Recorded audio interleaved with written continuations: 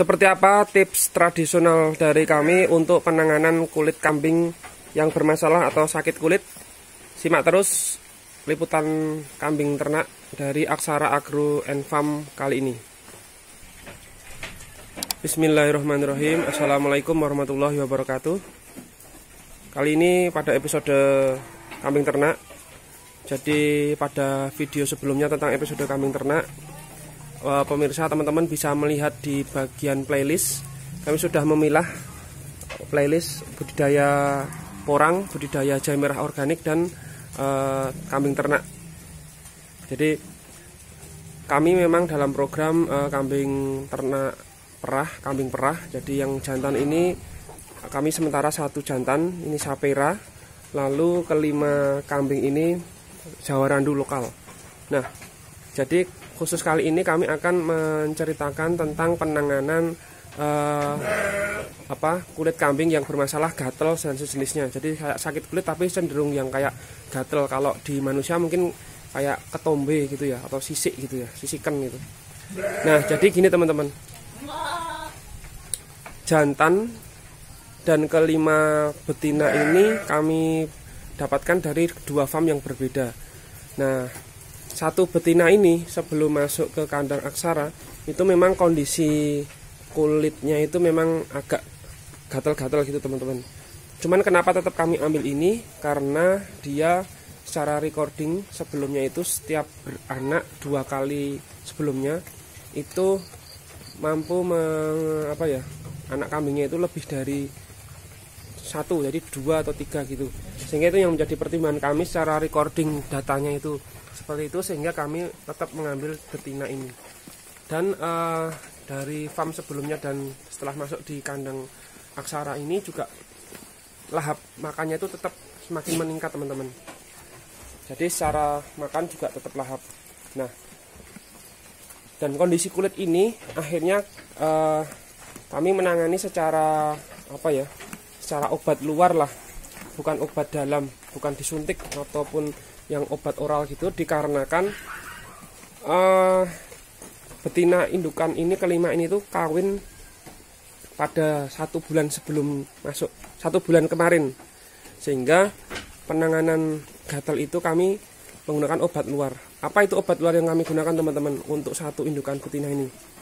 Jadi kami mengoleskan uh, ke tubuh atau bagian yang gatal seperti di bagian uh, apa hid, apa ya hidung depan ini lalu di bagian beberapa bagian badan yang di belakang itu kami mengoleskan dengan oli bekas. Jadi dengan oli bekas itu kita dengan kuas kita oleskan ke bagian badan yang uh, apa gatel gitu kelihatan nanti. Kali ini mohon maaf ini agak gelap ya teman-teman.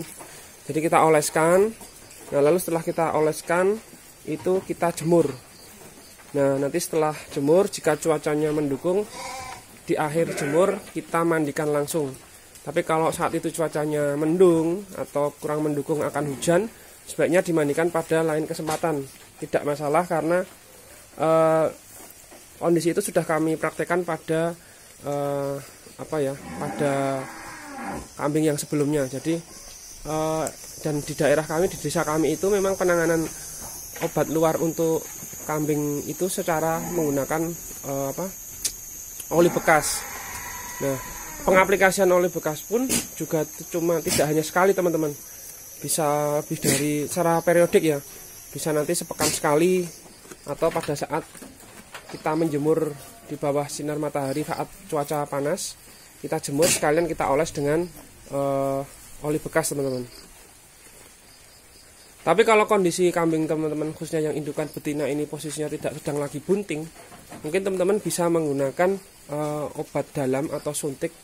Banyak uh, merek obat kambing untuk gatal itu di toko-toko atau di poultry itu bisa seperti uh, Mormax tetetet itu. Ada beberapa merek itu untuk kambing dewasa dosisnya paling uh, dewasa itu yang jelas 2 mili teman-teman dosis untuk uh, suntik dewasa itu jelas 2 mili. Tapi kalau uh, indukan atau betina teman-teman ini ada ragu-ragu kondisinya itu karena di awal-awal bunting itu belum pasti dan untuk pengobatan itu apa gatel sebaiknya menggunakan obat luar. Jadi kalau dari kami menggunakan uh, atau dengan mengoleskan oli bekas. Nah mungkin teman-teman ada pengalaman yang lain dalam mengobati uh, gatel pada uh, kambing peliharaannya mungkin bisa memberikan tambahan pada komentar kolom komentar di bawah. Jadi kami dalam apa penanganan ada satu indukan yang kulitnya memang apa gatal seperti ini kami apa tetap tenang karena secara apa lahapnya makan ini memang semakin meningkat entah itu memang bunting atau memang karakternya memang lahap makan seperti ini. Tapi eh, alhamdulillah setelah kita berikan tiga kali pengolesan ke mana? Ke kulit kambing ini kondisinya relatif membaik teman-teman. Jadi e, tingkahnya juga tidak dikit-dikit garuk-garuk. Kalau dulu dikit-dikit garuk-garuk. Kalau sekarang sudah sudah agak jarang teman-teman. Dan dia cukup nyaman makan dan harapannya e, kambing ini juga jadi bunting beserta indukan keempat betina yang lain mungkin ini teman-teman liputan dari kami e, cara kami melakukan pengobatan untuk kambing yang gatal badannya khususnya pengobatan luar dikarenakan ada uh, kemungkinan uh, kondisi kambing sedang bunting muda. Semoga bermanfaat liputan dari kami ini. Terima kasih.